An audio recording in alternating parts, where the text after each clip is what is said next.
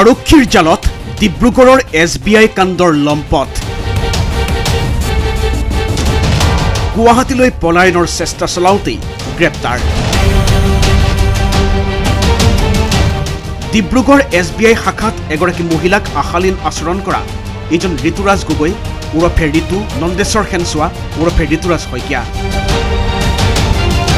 নাম ভিন্ন চৰিত্ৰ ভিন্ন। এয়া ছচিয়েল মিডিয়াত ভদ্ৰলোকৰ ভাও দিয়া ঋতুৰাজ। এয়া ঋতুৰাজ বোলা লম্পটটোৰ আচল চৰিত্ৰ। এই কুকৰ্মৰ বাবে এতিয়া আৰক্ষীৰ জালত এইজন লোক।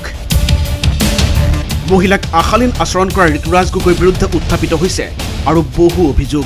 নতুন দিল্লীত চাকৰিৰ প্ৰলোভনেৰে অসমীয়া যুৱকৰ পৰা ধন সৰকোৱাৰ অভিযোগ আছে। এইজনৰ বিৰুদ্ধে। বৰ্তমানেও ডিব্ৰুগড় আৰক্ষীয়ে জেৰা চলাই আছে লম্পটটোক যি আছে এইটোতো ভিডিঅ'ত আপোনালোকে চাইছেহি আৰু আমি এইটো খবৰ পাই তাক ধৰি ইয়াত আনিছোঁহি। তো এতিয়া ইণ্ট্ৰগেশ্যন কৰিম আৰু সুধিম এনেকৈ কিয় কৰিলে। আৰু এইটো এটা মেছেজ মই দিব বিচাৰিছোঁ যে এনেকৈ যদি কোনোবা মানুহ কৰা বিচাৰে তেতিয়া ষ্ট্ৰিক্টেষ্ট একশ্যন লোৱা যাব এই ঘটনাই চাঞ্চল্য সৃষ্টি কৰাৰ সময়তে ডিব্ৰুগড়ত পোহৰলৈ আহিছে আন এক উদ্বেগজনক ঘটনা। ডিব্ৰুগড়ত সক্ৰিয় নাৰী দেহৰ ব্যৱসায়ী চক্ৰ। অসাধু চক্ৰৰ লক্ষ্য ছাত্ৰীৰ পৰা বোৱাৰীলৈ।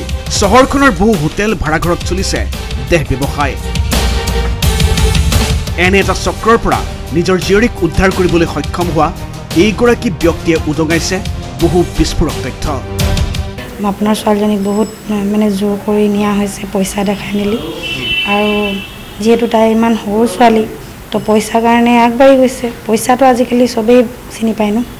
তো সেইটো কাৰণেই তাই আগবাঢ়ি গৈ কেনে ইমানখিনিয়ে আগবাঢ়িব লগা হ'ল আৰু সিহঁতি ইমানে পইচা দি কেনে ফুচলাইছে যিহেতু ছোৱালীজনী মানে মোক নকয় নেমেলি কেনে মনে মনে স্কুল যাওঁ বুলি লগৰ ছোৱালীৰ ঘৰত যাওঁ বুলি কৈ মিছা মিছা কথা কৈ মানে তাই এইবোৰ নিজে যায়।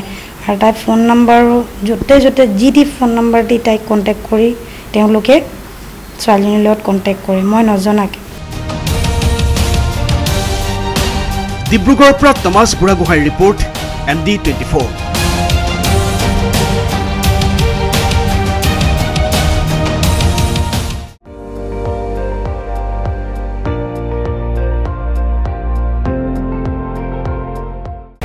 আপুনি চাই আছে এন ডি টুৱেণ্টি ফ'ৰ।